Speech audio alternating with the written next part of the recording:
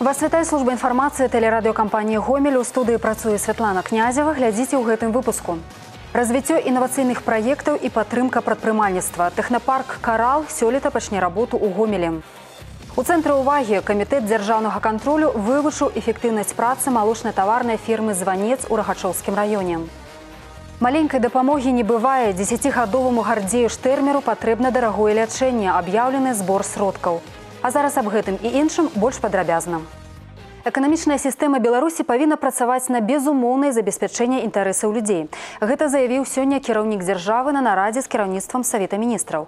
Абмяркоўваліся сем праектаў указаў. Усе Александр Лукашенко адправіў на дапрацоўку. Пытанні розныя ад гарантыі для супрацоўнікаў прадпрыемстваў банкрутаў, перапрацоўкі друг сыравіны да развіцця электратранспарту і бяспошлінага увозу тавараў. Патрабаванні прэзідэнта усе новаўвядзенні павінны зрабіць жыццё беларусаў больш комфортным. Особый акцент хотел бы сделать на вопросах, нерешенность которых люди непосредственно ощущают на себе. Прежде всего, это касается гарантии прав работников на финансово несостоятельных предприятиях. Никаких компромиссов, конечно же, в таком случае быть не может, и вся экономическая система страны должна быть нацелена на безусловное обеспечение интересов людей. Хочу подчеркнуть, никакого популизма здесь нет – как некоторые могут, опять расчувствовавшись, заявлять в телеграм-каналах и прочее, что, мол, вот в канун выборов люди, люди. Я еще раз хочу повторить то, что говорил с первого дня своего президентства. Вся система и государство в целом имеют тогда только смысл, если они во благо людям. Все остальное смысла не имеет. Гаварылі сёння і аб удасканаленні сістэмы дзяржнагляду за станам сельгастэхнікі і абсталявання. Пасыл зразумелы, ставіцца да набытага з дзяржпатрымкай беражліва. Безгаспадарчасць прыводзіць не толькі да надзвычайных здарэнняў, але і да звальненняў і судоў. Сёння ж прадставілі дакумент, які павінен павысіць эфектыўнасць працы натарыусаў. Абмеркавалі змяненне норм бяспошлінага ўвозу тавараў для фізічных асоб. Сёння ў гомелі афіцыйна паведамілі аб адкрыцці другога тэхнапарка. Па сутнасці размова ідзе аб рэалізацыі буйнога інавацыйнага праекта, які фінансуецца з абласнога бюджэту. Аб перавагах, што атрымаюць рэзідэнты новага тэхнапарка, матэрыял нашых карэспандэнтаў. Тэхнапарк Карал, менавіта так ён называецца афіцыйна, будзе працаваць у саставе свабоднай эканамічнай зоны. Яго стварэннем займаецца дзяржаўнае прадпрыемства, агенцтва развіцця і садзейнічання інвестыцыям. З гэтага дня і да канца красавіка тут чакаюць заяў патэнцыяльных рэзідэнтаў. Пасля таго, як экспертная камісія зробіць заключэнне аб тым, што прадстаўлены праект сапраўды адпавядае крытэрыям інавацыйнага, можна будзе прыступаць да яго практычнай рэалізацыі. Прычым рэзідэнты атрымаюць не толькі льготы на аренду офісаў и шерах податковых преференций, але и добрую материальную базу. Специализированное оборудование, на котором можно делать различные изделия, в том числе из металла. Э, кроме этого, будет лаборатория 3D-прототипирования и 3D-моделирования. То есть она будет оснащена 3D-сканером, 3D-принтером, 3D-ручками и специализированным программным обеспечением. И вот э, либо это резидент технопарка, либо это э, человек, который занимается стартапом, он может реализовать свою идею с помощью этого оборудования Приходит и определенное время этим оборудованием, этим офисным помещением пользуются. Поэтому и называется Центр коллективного пользования оборудованием. Проект «Технопарк Карал» довольно масштабный. Зараз размова ідзе об увядзенні двух першых пускавых чэргаў. У маі гэтага года адкрыецца так званы цэнтр калектыўнага карыстання. На пачатку наступнага шасціпавярховы будынак з офіснымі памяшканнямі, канферэнц і трэнажорнай заламі. Па словах архітэктараў яны імкнуліся стварыць для рэзідэнтаў максімальна камфортныя умовы. Некаторыя цяжкасці трудности ўзнікалі ў сувязі з тым, што прыходзілася пераўтвараць былыя вытворчыя памяшканні, але з пастаўленымі задачамі справіліся. У новым тэхнапарку знайшлі месца нават для центра па навучанні сучасным лічбавым тэхналогіям гомельскіх школьников. Это подрастающее поколение, которое развивается и которое нужно развивать. Поэтому в здании, которое сегодня перед нами блок А, на первом этаже будут предусмотрены специальные зоны, где дети могут развиваться, а, могут с ними, с ними может происходить обучение, а, при этом, если у них возникают какие-то идеи и э, идеи достаточно перспективны, то их здесь можно и реализовать. Генеральны падрэшчык будаўніцтва гомельскага тэхнапарка карал адкрыты акцыянернае таварыства гомельпрамбуд. Агульны кошт двух пускавых комплексаў 12 з паловай мільёнаў рублёў. Зараз асвоена прыкладна палова сродкаў. Хоць вельмі верагодна, што выніковая сума акажецца меншай. Ва ўсялякім выпадку ўжо сёння будаўнікі кажуць об эканоміі. Идет параллельное проектирование и удешевление происходит в принципе по мере работы. Определяется оборудование, которое э, по тендерам условно стоит э, одну стоимость, закупается гораздо дешевле, либо просто дешевле. Вот. Ну и сами материалы, которые используются здесь, материалы, которые э, идут на сети, а здесь очень э, много насыщенные сети, и видеонаблюдение, и эм, система доступа, и серверная, то есть пожаробезопасность, пожарная охрана. Здесь очень много систем, кондиционирование. В процессе работы они тоже, э, ну, ну, по факту были удешевлены. Так получилось. Это хорошо. Олег Сенцюров, Ольга Коновалова, Евген Макенко, телерадиокомпания «Гомель». КДК Гомельской области выявіў парушэнне пры правядзенні праверкі на малочнай таварнай ферме званец. Яна належыць адкрытаму акцыянернаму таварыству эксперыментальная база Доуск. Высветлілася, што на працягу апошніх двух гадоў вытворчыя паказчыкі зніжаюцца, што негатыўным чынам адбіваецца на фінансавай стабільнасці гаспадаркі.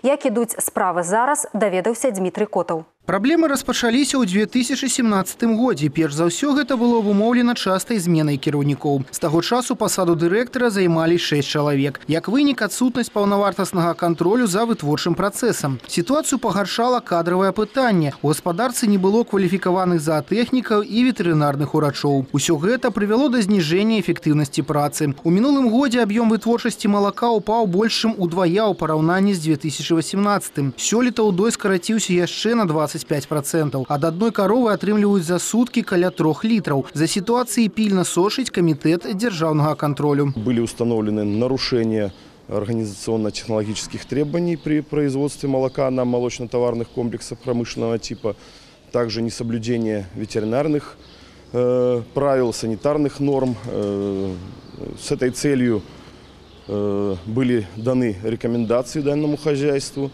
Э, скажу, что на данном этапе э, ситуация, конечно, кардинально она не изменилась э, в, про- в производственных показателях, однако санитарное состояние ну, поправили, да, здесь наведен порядок, проведены санитарные дни, проведены уборки производственных помещений, санитарно-бытовых помещений. Чысціня на працоўным месцы важны паказчык. І гэта ўжо крок на шляху для выпраўлення сітуацыі. Аптымізму дадае вырашэнне кадравай праблемы ў гаспадарцы. Прыйшлі маладыя спецыялісты і новы, як адзначаюць мясцовыя ўлады, энергічны кіраўнік. Усе маюць добрыя тэарэтычныя веды і, што немалаважна, жаданне працаваць на агульны вынік. потихоньку налаживается и производство э, молока уже как бы вот э, с- данный руководитель уже увеличил где-то на 700 литров уже э, поднял, поднялось молоко. То есть э, темпы есть, ситуацию все прекрасно видим. Я думаю, что э, потихоньку мы это хозяйство приведем в порядок, и оно станет на, на нормальное русло и будет функционировать так, как э, положено функционировать. Камітэт дзяржаўнага кантролю працягне сачыць за сітуацыяй на адкрытым акцыянерным таварыстве эксперыментальная база Доуск. Кіраўніцтва прадпрыемства павінна не менш чым раз на месяц дакладваць аб прымаемых мерах. Дмітрий Котаў, Валерий Гапанько, тэлерадыёкампанія Гомель, Рагачоўскі раён. Ужо два месяцы беларусы жывуць ва ўмовах новай сістэмы аплаты працы. Можна рабіць першыя вывады. На гэтым тыдні бюджэтнікі гомельскай вобласці могуць падзяліцца сваімі меркаваннямі з намеснікам старшыні рэгіянальнага камітэта дзяржкантролю Алены Кавалёнак. У пятніцу яна правядзе прамую тэлефонную лінію па пытаннях налічэння і выплаты зарплаты ў бюджэтных арганізацыях за люты. Тэлефануйце 13 сакавіка з 14 до 16 гадзін па нумары тэлефону ў гомелі 23 83 78. Амаль 9 тысяч беларусаў вырашылі датэрмінова выкарыстаць сямейны капітал у гэтым годзе. У 95% выпадкаў сродкі дапамогуць вырашыць жыллёвыя пытанні. Нагадаем, праграму падтрымкі шматдзетных сем'яў у Беларусі падоўжылі яшчэ на 5 гадоў. Акрамя таго, сума налічэнняў павялічылася да 22 з паловай тысяч рублёў. Больш стала і прычын выдаткаваць гэтыя сродкі, не чакаючы паўналецця дзіцяці. Ад паляпшэння жыллёвых умоў і адукацыі да аплаты медыцынскіх паслуг. 10 гадоў і адзін з іх у барацьбе з рэдкай формай лейкеміі. Гамельчаніну Гардзею Штырмеру патрэбна дапамога. Хлопчык праходзіў хіміётэрапію ў анкацэнтры ў бараўлянах, аднак яго хвароба дрэнна падаецца лячэнню. Намаганнямі родных і знаёмых ён атрымаў запрашэнне ў эксперыментальную групу дзіцячага шпіталя ў Тэхасе. Даследаванне будзе бясплатным, але бацькі павінны ўнесці дэпазіт у 500 тысяч долараў за шпіталізацыю і магчымыя рызыкі. Раней бацькі аплачвалі лячэнне самастойна, Аднак зараз ім прыйшлося браць крэдыты, якіх усё роўна не хапае на пакрыццё выдаткаў. За кароткі час трэба сабраць яшчэ каля 25 тысяч долараў. Каб дапамагчы маленькаму гардзею, ажыццявіць дабрачыны плацёж можна як ва ўстановах банка, так і з дапамогай паслугі плацёж па рэквізітах у інфакіёсках, інтэрнэт і мабільным банкінгу. У гомелі прайшоў Spring Fashion Day. Арганізатары мерапрыемства, прысвечанага святу 8 сакавіка, палацава-паркавы ансамбль і цэнтр моды і прыгажосці хрустальная німфа. Модны паказ праходзіў у рамках выставачнага праекта зоркі знакамітасці ў аб'ектыве Олега Лукашевіча і Александра Алексеева. На фотаздымках сусветна вядомыя акцёры, рэжысёры і мадэлі. Гомельскія прыгажуні на гэтым фоне не разгубіліся. Вытанчаныя, грацыёзныя і элегантныя. Кожная пастаралася, каб госці госці атрымалі асалоду ад фэшн-атмасферы. Усяго ў паказе былі задзейнічаны 40 мадэляў. Яны прадставілі новыя калекцыі упрыгожванняў, гомельскія салоны элегантнага адзення і вясельнай моды. Организовав этот показ именно э, к Дню женщин, э, таким образом мы хотели сказать, что каждая женщина – это звезда. Она неповторимая. Она самая лучшая для своего мужчины, для своих детей. Поэтому мы хотим, чтобы они были прекрасны не только раз в году, а постоянно и постоянно получали комплименты. Надвор'е на гэтым тыдні будзе пераменлівым ад дажлівага да сонечнага, цёплага на працягу будняў і даволі прахалоднага на выхадных. У аўторак і сераду чакаюцца ападкі. Уначы прагназуецца да 8 у дзень да 11 градусаў цяпла. Ясна і да 9 градусаў будзе ў чацвер 12 сакавіка. А ў пятніцу у большасці рэгіёнаў зноў пройдуць дажджы. У суботу супук тэрмометра апусціцца да 6 градусаў у дзень. Увечары пахаладае да плюс двух магчымы мокры снег. Гэтыя і іншыя навіны інфармацыю о праектах тэлерадыёкампаніі Гомель вы можете знайсці на нашым сайце ў інтэрнэце па адрасе трайное w кропка tvргомель кропка бай. На гэтым выпуск завершаны ўсяго добрага і да сустрэчы ў эфіры. Эфир телеканала «Беларусь-4» продолжает де-факто. В студии Руслан Габрилев. Здравствуйте. Ограбил банк, чтобы расплатиться с кредитом. В Гомеле задержали подозреваемого в двух разбойных нападениях на банковские отделения. Напомним, оба случая произошли в Гомельском районе. Первый и удачный для грабителя в поселке Большевик, второй безрезультатный в агрогородке Бабовичи. Задержанный 24-летний гомельчанин – индивидуальный предприниматель. Ранее судим не был. Молодой человек сознался в совершении двух преступлений, рассказал рассказал все обстоятельства и причины своих действий. Похищенные деньги после разбойного нападения в большевике были, по его версии, потрачены на погашение кредитов и на иные личные нужды. Пока эта информация проверяется, направлены необходимые запросы. Тем не менее, проведенными следственными действиями с 4 марта э, лицо было задержано, порядке статьи 108 Уголовно-процессуального кодекса. 6 э, марта предъявлено обвинение по части 2 статьи 207 Уголовного кодекса. Это разбой, совершенный повторно. Избрана мера пресечения, которая санкционирована прокуратурой Гомельской области в виде заключения под стражей. На данный момент рассматривается версия наличия соучастников в грабежах. Ведется поиск предмета, который использовался при разбойных нападениях под видом огнестрельного оружия. Возбуждено уголовное дело. А по сведениям ГАИ, в выходные дни на территории Гомельской области зарегистрировано 50 дорожно-транспортных происшествий. В двух из них пострадали люди, в их числе один несовершеннолетний. 7 марта 27-летний водитель автомобиля «Ровер», двигаясь по улице Хатаевича в Гомеле, совершил наезд на 11-летнего пешехода, который пересекал проезжую часть дороги по переходу на зеленый сигнал светофора. С травмами мальчик доставлен в областную детскую больницу. Уважаемые взрослые, напомните своим детям об основных мерах поведения при переходе проезжей части дороги. Э, напомните им о том, что необходимо э, убеждаться в безопасности своего перехода, убеждаться в том, что водители заметили вас и пропускают.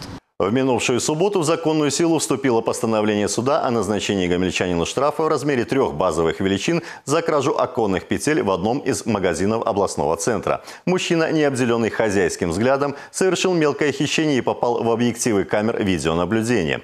Охрана супермаркета заприметила недобросовестного покупателя и задержала его.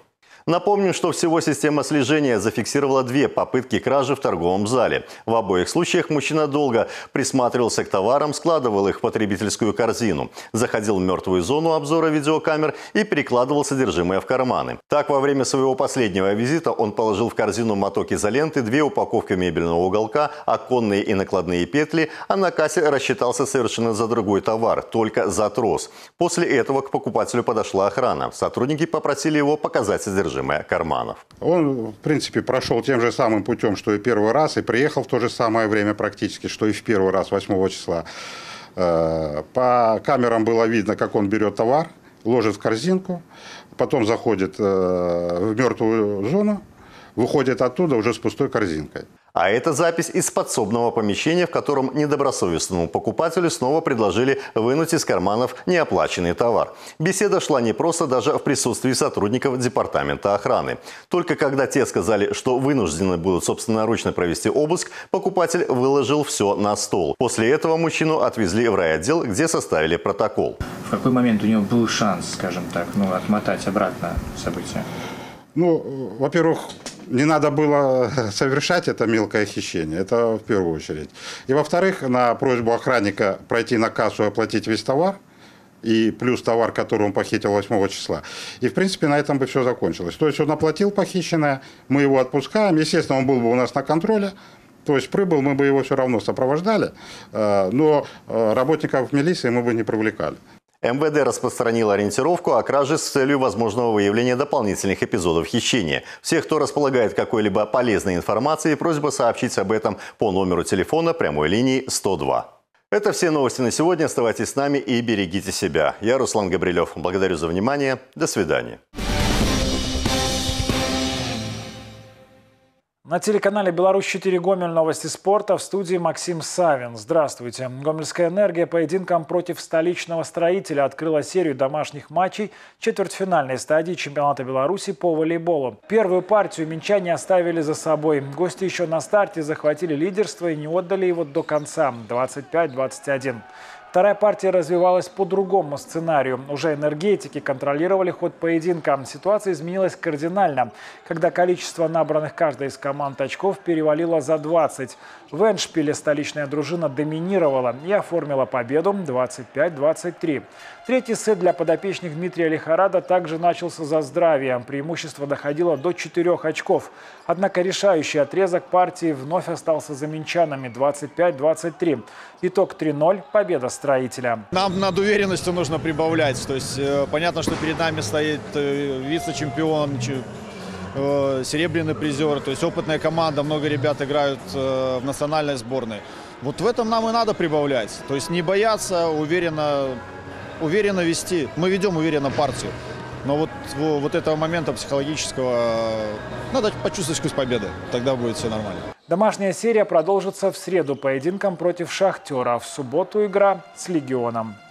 В новоиспеченной женской гандбольной паре матч Суперлиги сыграны очередные поединки. Чемпионат страны изменил название буквально на днях.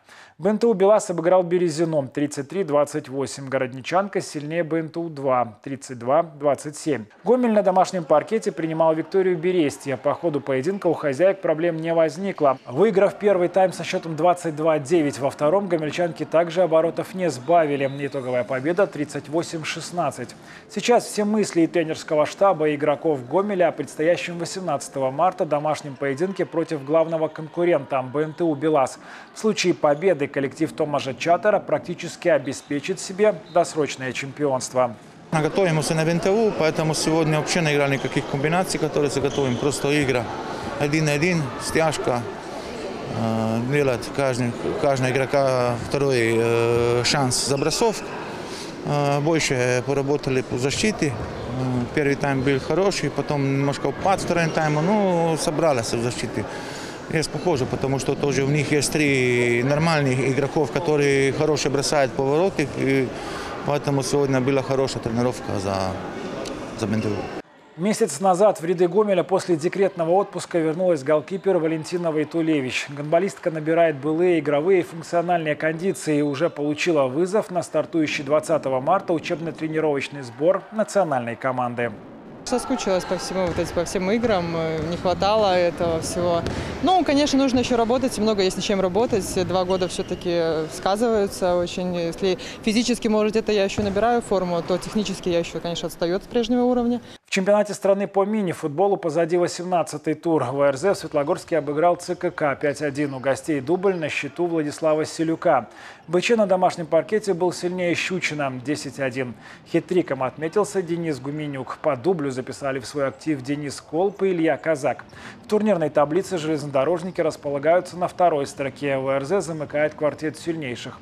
ЦКК на девятом месте. Лидирует Аршанский Витен. В Гомеле завершился открытый турнир по настольному теннису памяти Семена Хасина. На участие в состязании приняли более 120 спортсменов из Беларуси и Литвы. Награды разыгрывали в двух возрастных категориях – 13-16 и 12 лет и моложе. Гомельчане без наград на домашнем турнире не остались. Девушки выиграли три медали. У Софии Сычевой золото, Светлана Глидина стала второй, Алина Мельникова – третьей. В состязаниях юношей одна награда – бронза Алексея Кулагина. На этом пока все. С новостями спорта вас знакомил Максим Савин. Оставайтесь на Беларусь 4.